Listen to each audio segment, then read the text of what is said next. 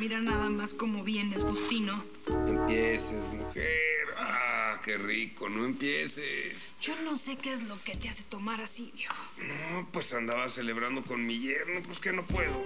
Pues claro que puedes, ¿o qué? Entonces. Pues no creo que a tu hija le guste mucho la idea. No, pues mi hija que se aguante. Que aprenda a quedarse callada. Así como lo haces tú. Uy, viejo.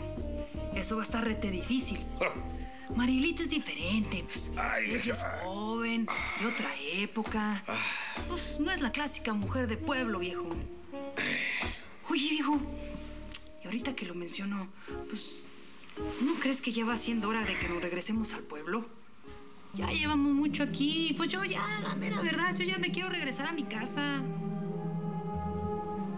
Sabes, igual y tienes razón, mujer. Tengo mucho tiempo alejado de mis negocios y eso no está bien. Al ojo del amo engorda el caballo. Y mi rancho tiene muchos caballos, ¿que no? Esos cuacos necesitan cuidados que yo no les puedo dar desde acá.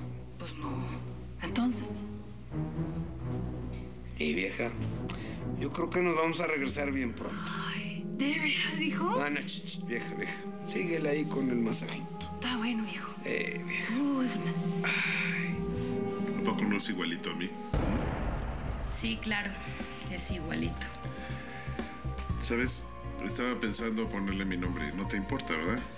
No. Perfecto. Mi papá se llamaba Rogelio, luego yo y ahora él.